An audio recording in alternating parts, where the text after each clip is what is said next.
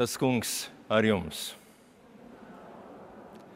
Lasījums no mūsu Kunga Jēzus Kristus evaņģēlī, ko pierakstījis Marks 10. nodaļā. Jēkabs un Jānis, Zebadeja dēli, piegāja pie viņa un sacīja: Skolotāji, mēs gribam, lai tu darītu, ko mēs tev lūgsim. Viņš tiem jautāja, ko jūs gribat, lai es jums daru. Un tie sacīja: Dod mums, ka mēs varētu sēdēt tavā godībā, viens pie tavas labās rokas un otrs pie kreisās. Bet Jēzus tiem sacīja: Jūs nesaprotat, ko jūs lūdzat. Vai jūs varat dzert to biķeri, ko es dzeru, vai tikt kristīti tajā kristībā, kurā es tieku kristīts?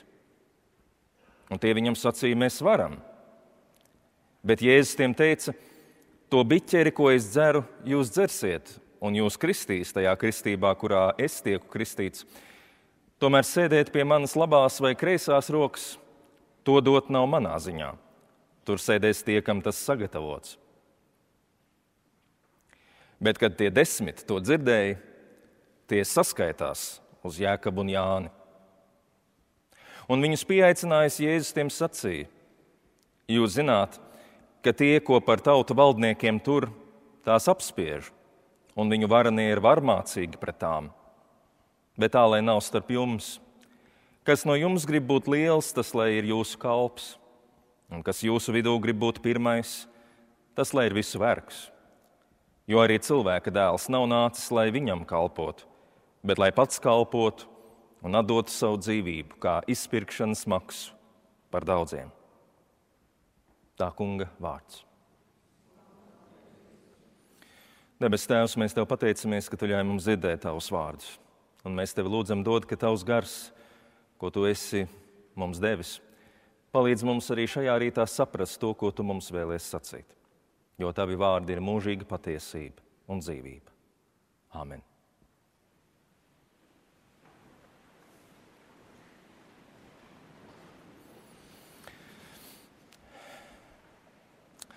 Kristietības vēsts nav nemaz īsti saprotama, ja mēs ļoti skaidri neieraugām vienu no mūsu ticības stūrakmeņiem, un proti, cerību. Atšķirībā no daudzām tā sauktajām pagāniskajām reliģijām, kuras visādi centās attaisnot esošo lietu stāvokli. Piemēram, visbriesmīgākās despotijas un varmākas valdniekus attēlojot kā dievu dēlus, kas ir likumīgi un negrozāmi pašu dievu izraudzīti, un līdz ar to viņu vāra ir neapšaubāma. Atšķirībā no tā, kristietība balstījās jau vecajā derībā atklātajā patiesībā, ka cilvēku sabiedrība, cilvēku pasaule, kāda tā ir bijusi līdz šim un pastāv arī vēl tagad, tā neizsaka dieva galējo pilnīgāko ieceru. Nu, piemēram, Ēģiptes faraona zintnieki un gudrie var piestāstīt pilnas ausis un piekliegt pilnus tirgus laukumus ar stāstiem, ka faraona vara ir no paša dieva nākusi, un tāpēc visiem ir viņam jāvergo. Taču dzīvais dievs kādā brīdī atklājas degošā krūmā, ebrejam vārdā Mūzus, un liek tam doties uz šo nostiprināto faraona galmu un pieprasīt savai tautai brīvību. Un tad ar gudrību un ar paša dieva sagādātiem brīnumainiem notikumiem viņiem izdodas šķietami pilnīgi neiespējamais. Jo izrādās daudzinātā dievu griba nemaz neatbilst patiesībai, dzelžainā esošās pasaules kārtība tiek sagrauta, un tā vietā nāk kaut kas jauns. Jauna lietu kārtība, jauna izpratne, jauna dzīve. Ebreji tieši šo izjūtu, ka pasaule nav dievs, bet ir dieva radīta. Un līdz ar to tā nav pilnīga un var tikt dieva pārradīta, pārveidota, izmainīta. Šo izjūtu viņi izteica ar diviem ļoti svarīgiem jēdzieniem. Olam Hazē un Olam Habā, ko mēs tulkojam kā pasaule, kura ir, un pasaule, kura vēl tikai nāk. Ir šī pasaule, kādu mēs to šobrīd pazīstam, un ir pasaule tāda, kāda vēl tikai nāk, proti, kas ir vēl tikai Dieva iecerē, un tieši ar to, to nākamo pasauli, nākošo proti to, kas nāk. Ar to pasauli saistās mūsu īstenā cerība. Jo tikai tur netaisnības būs novērstas, un cilvēku starpā valdīs patiešām cieņa un labvēlīga attieksme, kā mēs bieži šobrīd to sakam, bet nedaram. Tiesa te jāpiezīmē, ka cilvēks, būdams caur caurēm piederīgs šai materiālajai pasaulē, bieži vien arī par šo olam habā pasauli, kas nāk, domā tādās fiziskās kategorijās. Nevis tik daudz kā par jaunu laikmetu un jaunu attiecību veidu, bet drīzāk vienkārši kā par vietu, kur mēs beigu beigās nonāksim vai pārcelsimies. Un tad, kad mēs tā mazliet šaurāk to redzam, mēs daudzas lietas evaņģēlijos nesaprotam. Un mūsu šodienas pārdomu teksts ir tādas ļoti svarīgas zāles, lai mēs precīzāk saprastu, kas īsti šeit tiek domāts. Un mums var palīdzēt viens no ļoti slaveniem ebreju teologiem, viens no Hasīdu ciltstēviem, proti Nahmans no Bratislavas, kurš savulaik tā arī ieteica, ka īstenībā jātulko būtu nevis pasaule, kura nāk, bet pasaule, kura vienmēr nāk Un šādā izpratnē Olam Habā nav stāsts par kādu vietu, bet drīzāk par attieksmi pret dzīvi kopumā. Piederēt vai atrasties šajā Olam Habā nozīmē izvēli piederēt nākotnē, jā, tam, kas nāk. Tāda ir mūsu patiesā izvēle. Redziet, mums nav dots izvēlēties, kurā laikmetā mēs piedzimstam, vai kādos apstākļos mēs šobrīd dzīvojam. Mums nav lemts noteikt savas dzīves ilgumu, un robežas un daudzas citas lietas. Mēs esam tur, kur esam. Un tomēr mēs varam izvēlēties, lai kur un lai kādi mēs šobrīd būtu. Mēs varam izvēlēties, vai piederēt tam esošajam un pilnībā tam pielāgoties, vai arī piederēt nākotnē. Šāda izvēle par labu Dieva sirdī, Dieva žēlastībā apslēptajai nākotnē, iespējams, ka tā neko daudz ārēji šobrīd nemainīs. Un tāpēc vieglas baudas tīkotājiem parasti šī lieta paslīd garām nenovērtēt. Bet iekšēji tā ir vārda patiesā nozīmē pilnīgi cita dzīve jēgpilna, mērķtiecīga, cerīga. Nav tikai tas, kas ir. Dievs rada kaut ko jaunu, un es gribu tam piederēt.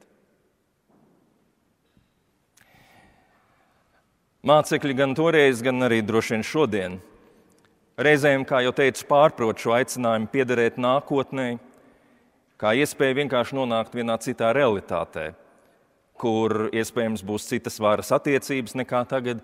Šeit es esmu kalps, bet tai citā pasaulē būšu kungs. Šeit man iet grūti, bet tur es sēdēšu pie klātiem galdiem. Un, ziniet, savā ziņā varbūt tā ir arī taisnība. Ja cilvēks tiešām sakņojas nākotnē, tad viņš jau tagad sāk dzīvot kaut ko no tās dzīves, kas vēl nav pat redzama. Un tas radikāli maina, ja ne ārējos apstākļus, tad iekšējo dzīves garšu. Bet Jēkabs un Jānis šeit ļoti skaidri nodemonstrē, ka viņi īsti nesaprot, par ko Jēzus ir runājis līdz šim, kad viņš ir aicinājis viņus tiekties pēc tās valstības, kas nāk pēc Dieva valstības. Viņi nāk un tā ļoti uzmanīgi sagatavo ceļu un saka, mēs tev gribētu kaut ko lūgt, un mēs gribētu, lai tu to izpildi. Un mēs zinām, kā cilvēki to dara, tas ir tik saprotami. Un beigās viņi pasaka, dod mums sēdēt pie tavas labās un kreisās rokas, tavā godībā, kas tuvojas. Un Jēzus neņemas viņus kaut kā kaunināt vai bārt, bet viņš uzreiz mēģina kliedēt šo pārpratumu un vairot šo mācekļu izpratni par to, kas tad ir evaņģēlīja būtība. Tāpēc viņš to daļu viņiem parāda, ka šī sēdēšana godībā pie viņa labās un kreisās rokas ir kaut kas, kas ir saistīts vispirms ar nepieciešamību sastapties ar biķeri, kas tādā gadījumā visiem jādzer, un kristību, kas tādā gadījumā visiem jāsaņem.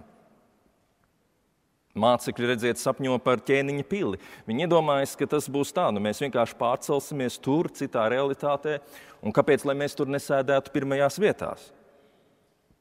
Bet Jēzus jau nerunā par to. Viņš pamatā runā par mūsu dzīves un domāšanas maiņu. Un tieši tāpēc viņam piederība nākotnē vienmēr nozīmē vajāšanas un neizpratni, lielas cīņas un spriedzi cilvēku starpā tagad. Pie tam tās nav pašmērķīgas. Jēzus nemeklē jebkuru veidu, kā piedzīvot ciešanas. Viņš neskaitāmas reizes mēs lasām izvairās no briesmām, ja vien tas nav uz kāda cita rēķina. Un tomēr neizpratne un pretestība jaunajam ir nenovēršama. Jo kuram patīk savu ērto šobrīdējo dzīvi apgrūtināt, dodot vietu kādam, kas līdz tam atradies ārpus uzmanības un tiesību loka. Un tāpēc var saprast, ka daudz cilvēki grib, lai Dievs viņiem palīdz un izmaina šo netaisnīgo sistēmu, kurā mēs dzīvojam, bet tie, kas to vada, galīgi nav ieinteresēti šo vēstu dzirdēt. Un tādus kā Jēzus grib pēc iespējas ātrāk apklusināt. Nebūt ne viss ir sajūsmā par šiem nemieru cēlājiem, kas vēlas redzēt, iedomājieties, doties uz zemi, ko Dievs rāda. Vai tad šī jau nav Dieva dotā zeme, pasaule, kādu Dievs to ir iekārtojis? Ko vēl jūs gribat? Bet pasaules vēsturē arī tagad, un pavisam noteikti arī nākotnē, vienmēr būs un pastāvēs šis nošķīrums starp nākotnes un pagātnes cilvēkiem. Katrā paudzē šis sadalījums rodas no jauna, jo iepriekšējo pauģu izcīnītās cīņas pamazām piemirstas, rezultāts sāk likties tik pašsaprotami, ka rodas jautājums, nu, kāpēc tagad mēs vienkārši nedzīvotu tā, kā nu, tas šobrīd ir. Kāpēc censties vēl kaut ko sarežģīt, izrādīt lielāku taisnīgumu, mēģināt ieklausīties tajos, kas vēl nav dzirdēti? Pie tam ir vienalga, kādu retoriku mēs izmantojam. Dažkārt nākotnes vārdā tiek atjaunotas sen aizmirstas netaisnības, un citreiz pagātnes vārdā kāds būvē faktiski pilnīgi jaunus, nebijušus eksperimentus. Bet tas svarīgi ir rezultāti. Jautājums ir, kas beigu beigās notiek vai ciešanas un iespējas tiek līdzvērtīgāk sadalītas, mēs viens otru labāk jūtam, jeb gluži otrādi mēs būvējam tās piramīdas, kur apakšā esošie grims dubļos, bet augšā esošie viņus pat nejūt. Un kā jūs saprotat, tas nav viegls uzdevums saprast, kas tad būtu jāmaina, kam būtu jāļauj augt, kur tad cilvēks tiešām var palīdzēt un kur nevar palīdzēt. Kur cilvēks, piemēram, kādreiz izmanto savu it kā upura lomu un varu, lai panāktu savu. Taču tas, ka mums ir grūti atšķirt nākotni no pagātnes kopijām, jaunās drēbēs, tas, ka tas ir tik grūti, nenozīmē, ka mums nevajadzētu pēc šī mērķa tiekties. Arī Jēzus mācekļiem nenācās viegli saprast, kas tad ir tas jaunais, ko Kristus ir atnesis.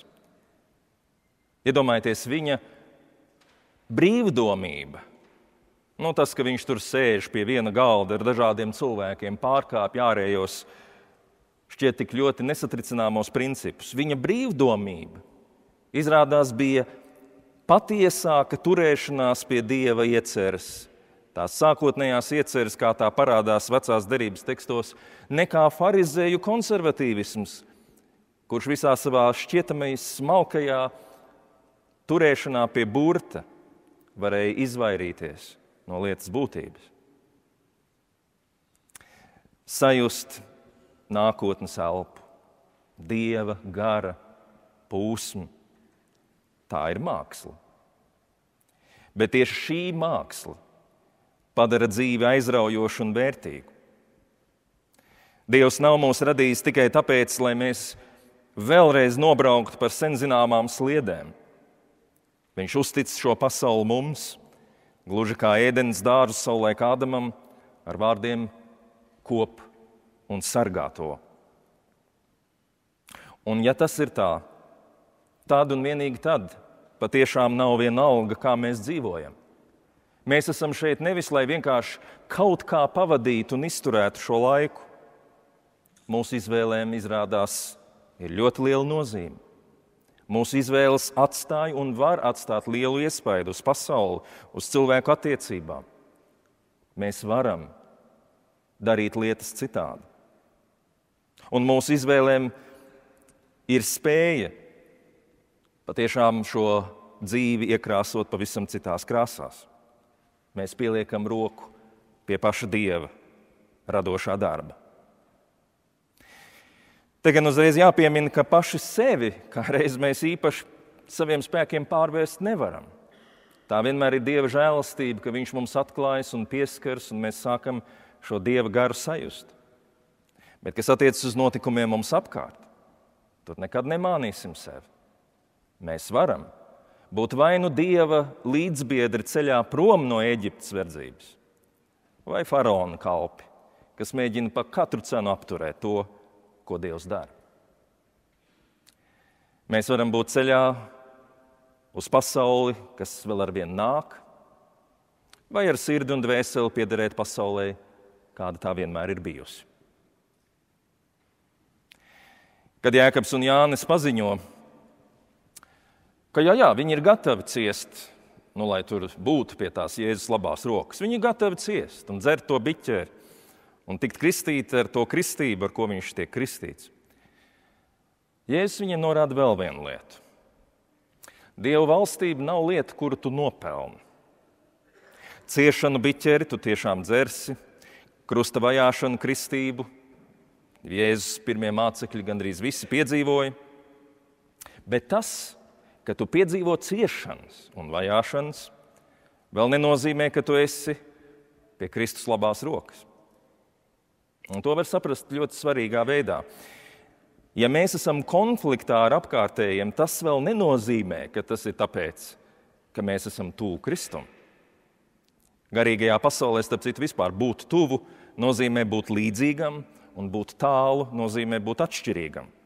Piemēram, mēs sakam, man tuvas idejas. Tas nozīmē, tās ir idejas, kas man ir saprotamas, līdzīgas manējām. Un savukārt, ja mēs sakām, ka kāda līdzība ir attāla, tas nozīmē, ka līdzība ir neliela. Tāpēc sēdēt pie Kristus labās rokas, tuvu viņam, nozīmē patiešām iet viņa pēdās. Līdz ar viņu ievadīt šīs pasaules, kas visu laiku vēl tikai nāk, viņas izpausmes, viņas godību, par spīti pretestībai, ko pasaule, kas ir, mums izrāda. Bet vēlreiz sacīšu, vajāšanas kā tādas nav patiesuma zīme. Un tas ir jāatceras gan revolucionāriem, progresa mīlētājiem, gan arī reakcionāriem, konservatīvajiem. Jo mūsdienās cilvēki ļoti cīnās par šo upura statusu un ir apjautuši, ka šobrīd upuri tiek beidzot aizstāvēti, kā varbūt līdzšinējos gadsimtos tas noticis daudz mazāk. Un tāpēc šobrīd ir ārkārtīgi izdevīgi katram mēģināt ieraudzīt, ka es esmu upuris, es tieku vajāts, man dara pāri, manus uzskatus nepieņem. Un tad, kad es tā skaļi to pasaku un nokliedzos, kādi ir gatavi man palīdzēt, un es varu to izmantot. Diemžēl tādā veidā kristīgā pasaule šobrīd bieži vien tiek nekaunīgi izmantota un piekrāpta kas dažos, protams, rada maldīgu sajūtu, ka varbūt visa šī ideja, ka mums ir jāaizstāv upurus, vispār ir nepareiza. Jo redziet, cik aplamas lietas te apkārt notiek. Kaut gan patiesībā upurus aizstāvēt ir absolūti nepieciešami, bet tikpat nepieciešami ir spēt atmaskot vilkus avju drānās.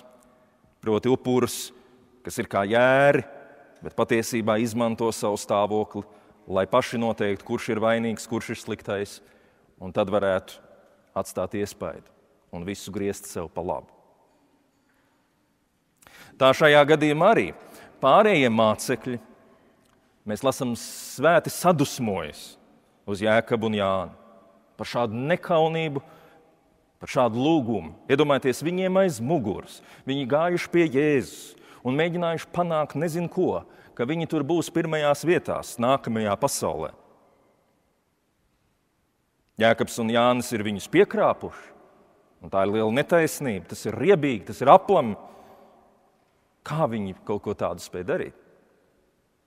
Un taisnība grib šos mācekļus aizstāvēt un mierināt.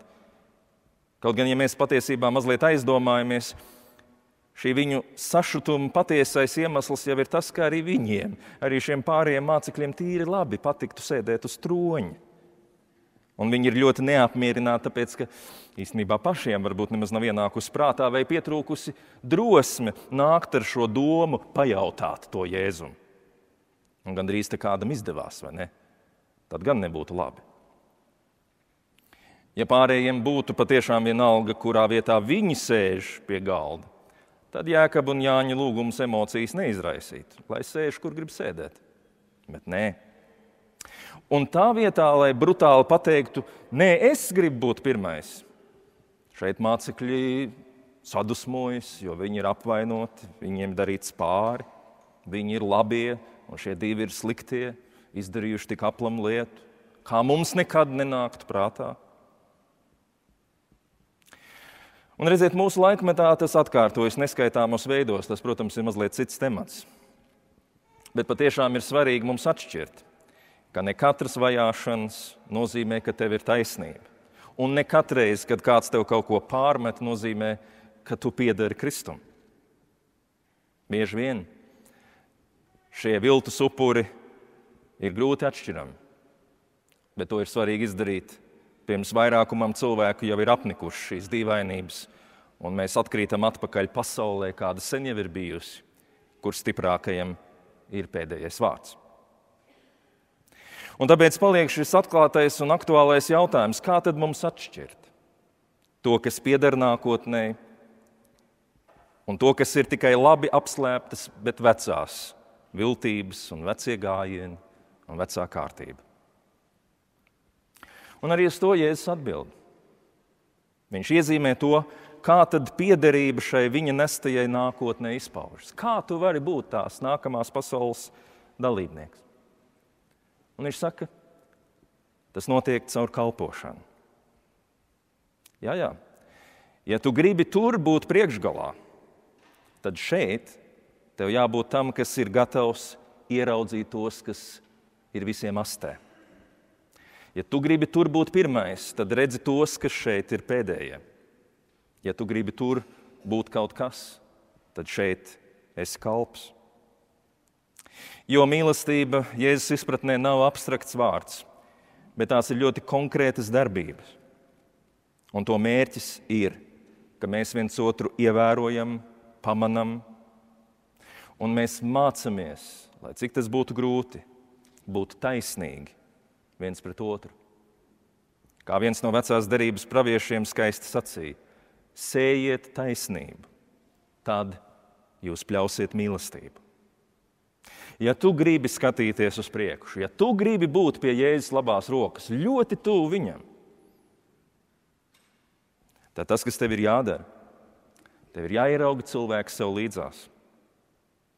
Tev ir jāpamana viņa ciešanas, un jāmēģina, cik tas no tevis ir atkarīgs. Jāmēģina tās līdzsvaroti atvieglot. Tanī brīdī tu piederi Dieva valstībai. Tanī brīdī tu esi viņas pilsonis. Tanī brīdī tu esi nākotnes cilvēks. Jo nākotne top caur šādiem cilvēkiem. Kāds bija Jēzus, kāds, kādi bija viņa tuvākie mācekļi un kādus viņš gribētu redzēt arī mūsu katru. Jebkurš cits veids bieži vien nozīmē, ka mēs sevi maldinām. Mēs krītam atpakaļ pasaulē, kāda tā vienmēr ir bijusi. Sautīgumu un netaisnības aptumšot, dzīvību un patiesības macējošu. Vienīgi redzēt otru cilvēku un pastiet tam pretī roku. Nevis prasīt, lai tev kalpo, bet pašam kalpot. Tas nozīmē, ka es esmu Kristus māceklis. Un tas nozīmē, ka mana dzīve ir drošās rokās, jo es piedaru tai lielajai plūsmai, ko Dieva gars vada un kas nekad, nekad nebeidzas. Āmen!